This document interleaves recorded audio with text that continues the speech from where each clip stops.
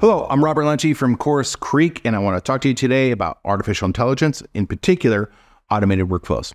If you want to know what a miracle looks like, try automated workflows with AI. It's quite amazing.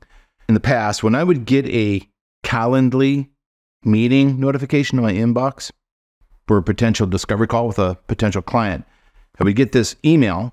Then I would grab its information and then I would go out to my CRM, paste that into the CRM.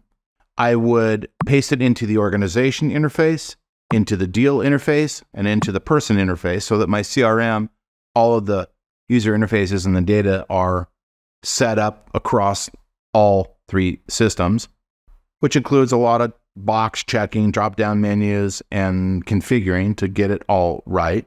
And it would also include going out to LinkedIn if said lead had a LinkedIn profile and syncing that as well manually again, and then sending out a introduction email. So that workflow, that process used to take me about 20, 25 minutes to do.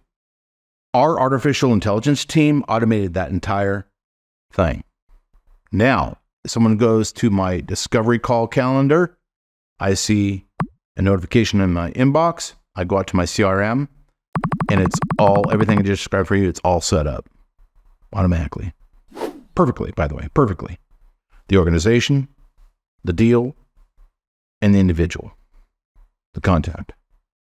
All the little drop down menus, all the little check boxes, all the little details, even my own customized fields, the things that I did that are unique. That's a lot of saved time.